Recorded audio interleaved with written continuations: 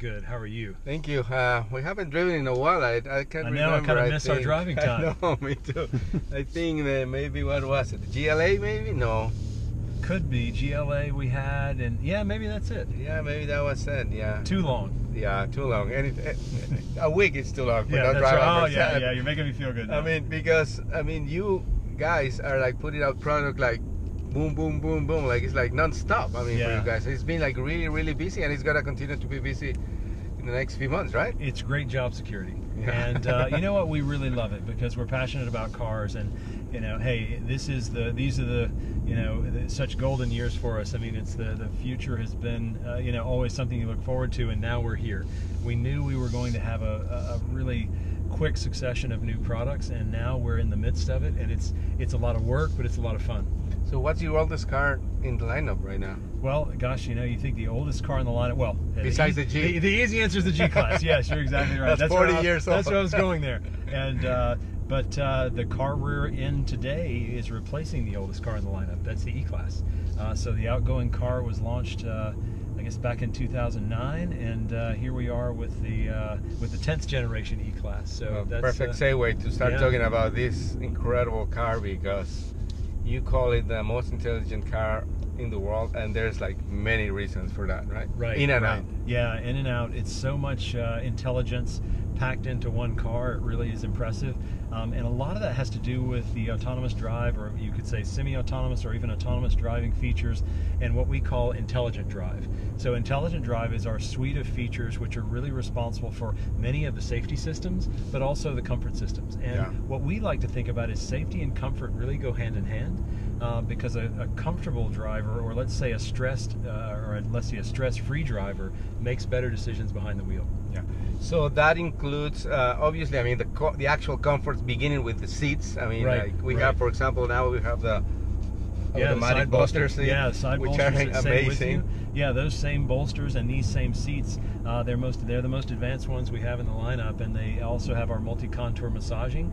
Uh, so they use 14 air chambers in the rear seat back and four chambers in the seat base. And they do they use those, and, and you can choose from eight different massage programs, uh, which really give you a great feeling while you're driving and keep you, let's say, relaxed but alert. Yeah. Uh, because that's the that's the idea. Because with the Mercedes car, uh, we feel like we've done our job. If you actually arrive at your destination feeling better than when you left. Yeah, and actually, this thing with for people who never experience it, it's at the beginning. It's like, okay, what's what's going What's on there? Yeah. But actually, when you're turning for, especially in these twisty roads, I mean, Yeah, it- sure. it, it's actually like a, an, an extra element of information fed to your body. Yeah. Yeah. Like which way are you going? that way, and- you, and- yeah, yeah. It's that. It's really that's a great way to look at it. It's feedback that you get about what the car's Yeah. doing, and uh, that can always help you make better decisions. So uh, let's start talking about the amazing technology that is in this car and makes it the most intelligent one, and hopefully we can cover all of it, which is a lot. Yeah, but, yeah, yeah, I mean, first, I mean, you already had the Distronic uh, Right. Plus system for years now. Mhm. And that thing is pretty amazing. I think the latest generation debuted with the S Class two, yeah, two and yeah, a half years right. ago. That's exactly right. And so that latest generation uh, was when we're combining radar and cameras, and the E-Class takes that a step further. We've got forward-facing and rearward-facing radar combined with stereo cameras, so that's two cameras which face forward, and now we also have radar which faces the side of the vehicle. So really, a 360-degree picture is what we're able to pick to paint, and that way the car has a, a very good awareness for what's going on around it, and we really bring all those sensors together in a way which allows us to do a lot of amazing things in terms of making good judgments about, let's say, if the driver's not paying attention, uh, or if the driver becomes, let's say, drowsy, or if even the driver were to, gosh, were something were to happen and they couldn't respond to steering inputs, they, the car could come to a stop. So Completely. a lot of Wow. things, exactly. So with that Distronic and what we call Drive Pilot now, we're able to do things in it, and uh, just the semi-autonomous and even autonomous features of if you if you took your hands off the wheel, let's say driving on the highway, the car would support you with steering and uh, and and be able to do that in a very comfortable way. So obviously it's not autonomous driving yet, but uh, in certain conditions, it's Mhm. like I don't know if you can put a percentage of it, like Yeah, 50, well, 60 percent. I mean, yeah, hey, you're one step closer, especially on highways. Yeah. Um, because those are the areas where uh, the car the car can see what's going on in front of it, to the side, and also behind, and really make some you know perfect judgments on on what your next move should be. Uh, one of those things, a, a new enhancement, obviously with higher speed ranges, you can you can use the Distronic uh, Drive Pilot up to 130 miles per hour. It can- 130 it- miles an hour. 130 miles per hour. You can use it in stop and go. Let's say if you're in a little bit of traffic on the interstate. And now, for the first time ever, we have our active lane change assist. So the car will execute a lane change autonomously just by you using the turn signal indicator. Okay, and that um, again with all these systems that are going towards the uh, autonomous driving system, you still have to have the hands on the wheel, right? Well, but the car will start do some of Sure, steering. sure, and that's our recommendation because even today, the best safety feature is you, the driver. And Hopefully. so you're, yeah, yeah, hopefully that's right. I trust you. We've driven a lot together. I know better. Uh, so that's really an important point to understand that you will be reminded if you take your hands off the wheel, you will be reminded to, to put your hands back on the wheel, and uh, because the driver is still in control of these features. And again, as you said, if I wouldn't, the car will sense that and eventually will will actually stop come completely. to a stop. Yes, Okay. you'll get three sets of warnings. They're very clear warnings. You'll see them in the instrument cluster. Uh, ask you to put your hands back on the wheel, and after that goes through three different uh, rotations. It would then begin to slow the car and would bring the car to a stop in its lane, and also put on the hazard signals just to alert those cars around you uh, that you had come to a stop. something. stop. Okay, and that's one of the things that hopefully we'll never have to try Exactly. and experience. Yeah. Well, you know, but there are many. There are many, right? No, you're right, Javier. There's there's so many features that we tell people we hope you never experience, but you but you're reassured that they're they're there for you if you need them. Um, the emergency stop assist that we mentioned is one of them. Uh, others are new features as part of our pre-safe system. Uh, we have our pre-safe sound. So pre-safe sound is actually a sound that is emitted out of the stereo speakers, which can basically almost like electronic earplugs. What they do is they trigger a muscle within your ear. It's called the stapedius muscle. It's the smallest muscle in the human body. And it's inside your ear. And when it gets triggered by certain sounds, it actually closes off and keeps some of the damage, damaging sound waves from getting all the way to your eardrum, which could damage your eardrum. And so that's in a crash. You have airbags. You have the sound of metal on metal contact. Yeah. So just Glass, before everything. yeah, yeah, all those things. So just before a possible impact, we emit a noise from the sound system, which really prepares your ears for a for a uh, possible collision. So Yeah. that's one of them. Uh, the other is what we call pre-safe impulse side, and that's a really interesting thing, and it's it's something new that we're able to do now that we have radar looking from the side of the vehicle. And with pre-safe impulse side, the car senses that if you're traveling along and you're let's say you're crossing an intersection and a car begins to approach you from the side And it will it- sense that. I'm sorry. We will sense that through the cameras and radar and everything. the cameras and the side-facing Okay. radar. And one of the reasons we think this is so important, just to backtrack a little bit, is side impacts are the most deadliest crashes because the crumple you- zone. you don't have not much a, not a lot, yeah, not yeah. a lot between you and the and the uh, car coming. So what this does, is it actually will move you closer to the center line of the vehicle, away from the potential impact. It also does what we call pre-accelerate you, because obviously when you have an impact, it's that immediate acceleration of your body which does Yeah, a lot of the damage. impact, yeah. Right. And so this will pre-accelerate you and move you towards the center of the car and getting you away from that impact. And what we've seen is in testing, it reduces the impact energy on your body by 30%. So that's that's a significant amount and uh, really means a lot in terms of reducing the amount of ener- uh, energy into the body and reducing the potential for injury. Wow. So that really like can make a huge difference in case of an accident. Which again, with all this technology, I have to say, you really have to do a lot of things wrong. Yeah, yeah. Or or like someone other people does. Yeah, around you. yeah, exactly. But like, I mean, it's it's almost. I think we can say it's almost diff- very difficult to get into an accident in these Yeah, cars you, you'd hope so, but uh, there's so many cars on the road. Yeah. It's the world we live in because we're only thinking there's probably going to be more traffic where we go. Yeah. And uh, the potential for because there's more people, more cars, uh, the potential for something bad happening is something you have to be really ready for and aware of. And um, so that's what we like to build into the cars because again, with Mercedes Benz, you want to feel great about what you're driving. Um, obviously, it's a luxury vehicle. We're asking you to, you know, this is not an inexpensive car. It's a it's a great value, but that Yeah. value proposition is driven by how great you feel driving it. Absolutely, and how much it, it gives you back with with all that technology. Exactly technology. right. Exactly right. So another of the things that that, that it, it has to be called intelligent. Even the lights are intelligent enough to see what intensity they have to project. Right, right. It's something that we think it makes a lot of sense because it not only it doesn't just help the driver, it helps those behind you. But we've all probably been behind an LED equipped taillight car at night. They come to a stop and it feels like it's just a disco going on in front of you. And what we do with ours, because we have light sensors, we actually uh, have variable intensity tail lamps. That way, they're plenty bright enough. They they uh, indicate that you're on the brakes or turning. You see all that really well, but they're not so, let's say, harsh on those behind you. Um, and another thing that uh, it's uh, new in this car is actually what is up there, the engine, and uh, Yes. four cylinder for this 300 version of it. Mhm. And again, when you hear four cylinder for an E-Class, some people say like, what, what? Yes, they worry. Is that going to be enough? Yeah. And uh, I think what we've been, I think all, you know, we were pleasantly surprised. We love the the direction that we're able to go with a four cylinder because it has great power, great sound, and great efficiency. And uh, that's really, it's the, it's kind of the next stage where we see that uh, the four cylinder is a great engine for this car. And for those customers, of course, who still want a six cylinder engine, we'll have an E43 with 396 horsepower. So This is 241. 241 horsepower. Um, and then if you step up to the E43, which we'll launch later this year, maybe early next year, uh, you're close to 400 horsepower. But going back to this one, 241 horsepower and 271. 273 pound Oh, feet of 273, And- which and- is at a very uh, low R- R- RPMs, RPM, which is yeah. like really, really, you can feel it, especially when you switch between the driving modes. Oh yeah, with dynamic select, if you move up to sport or sport plus, you really feel it. And you know, a great way. Obviously, we have a very wide torque band. Uh, the torque is the same as the outgoing six-cylinder, but that six-cylinder only got to that torque level at 3,500 RPM, whereas this car gets to it already at 1,300. So it makes a huge difference uh, in terms of the driving. That combined with a nine-speed transmission means you're always in the power band. Yeah.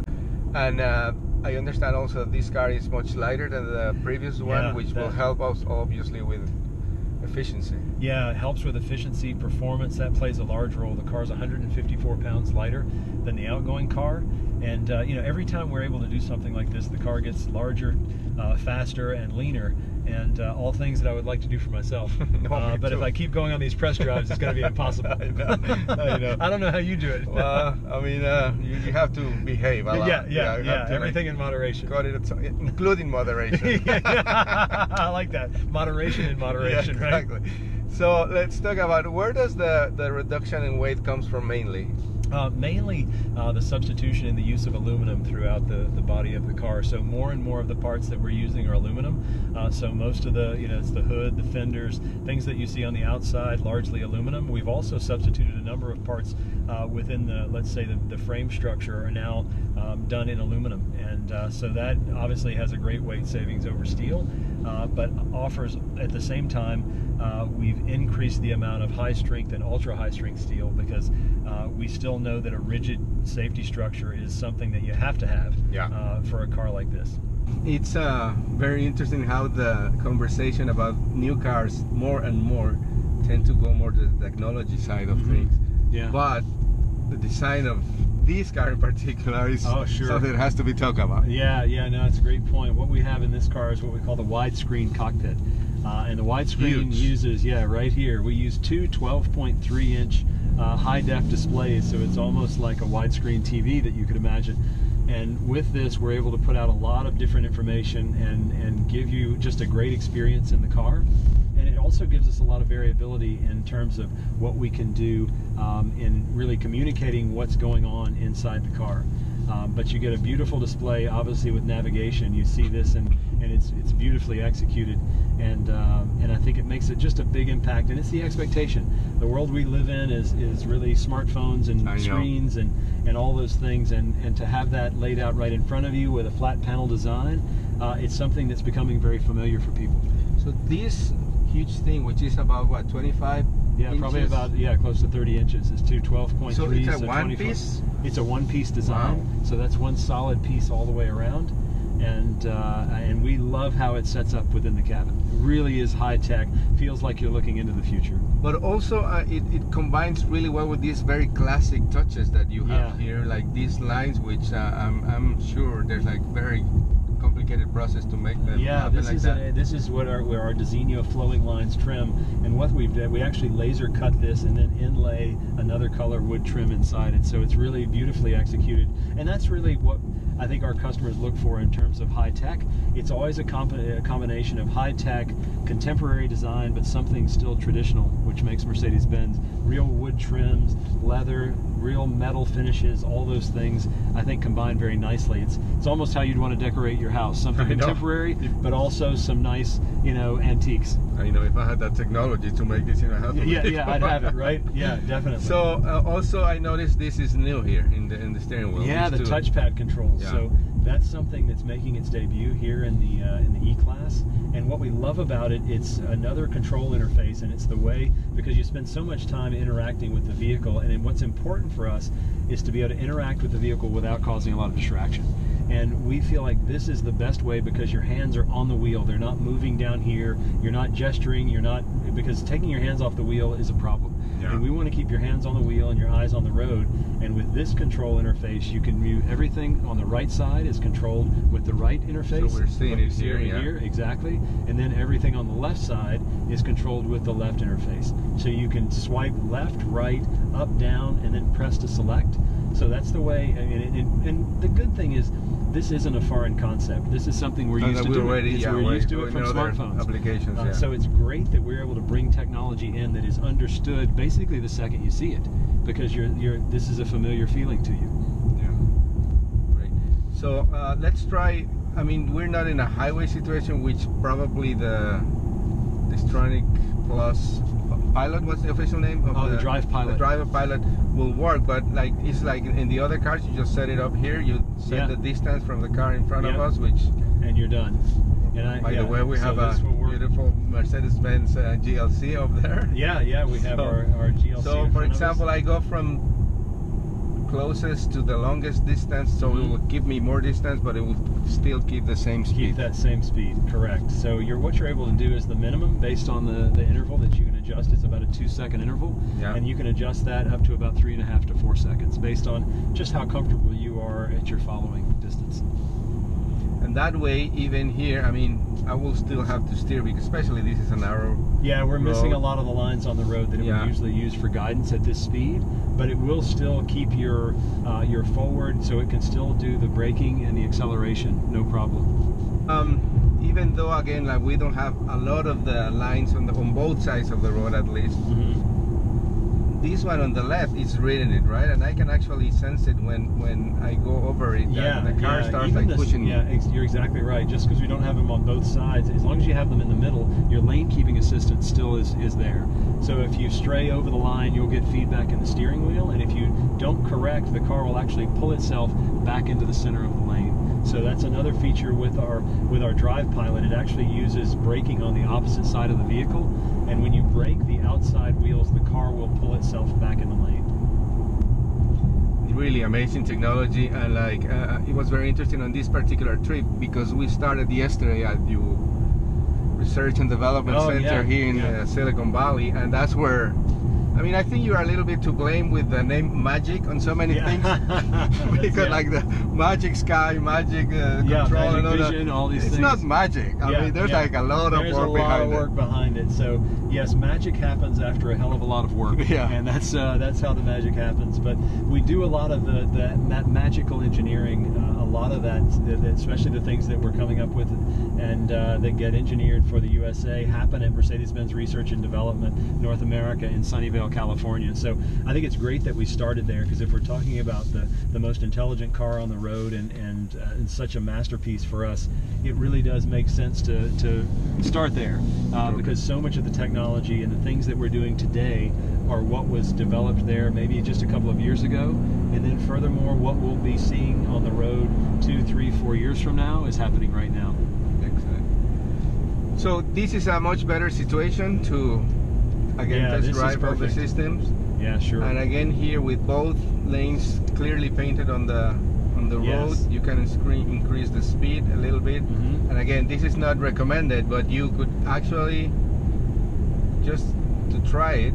We'll see we're getting to the line, and yeah, Yeah, there it yeah. is. It's Starts to pushing it back you, to yeah, going to push you back in the road. And you can even see it in the display when you Yeah. see green on each side of the road. That means the car It's is a good reading. immediate- Yeah, it's a good reading. great. So you see that right away, and uh, pretty nice feature.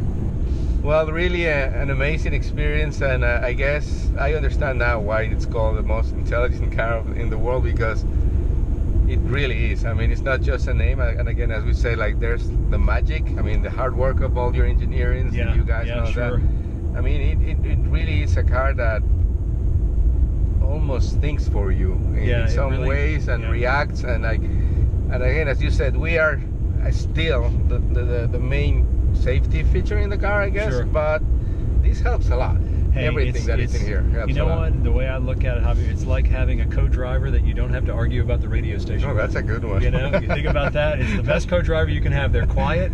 They like the same temperature that you like, and they love your music. Yeah. And at some point, we'll get it to where it tells you how good looking we are. oh that would be great that, that, that, how are you gonna call next. that magic what Yeah, magic. Uh, let's see, just magic compliment control or something. Thank you very much Thank you very much. Let's do it again. yeah